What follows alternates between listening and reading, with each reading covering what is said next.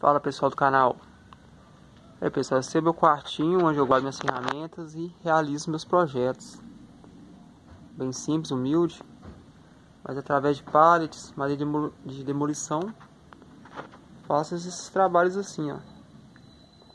Seu cliente já tinha as, as almofadas e através das medidas dela de referência, fiz essas mini poltronas aqui, ideal para colocar em varanda também. Ela gostou. Já tá tudo envernizado, ponto para entrega. Ela queria desse modelo assim. Sei pessoal, se você gostou do vídeo, quer que eu posto tutoriais como fazer esses tipos de projetos, marcenaria, artesanato rústico, se inscreva no canal, deixe seu like e comente, beleza? Então, até mais que vai vir novidades, hein?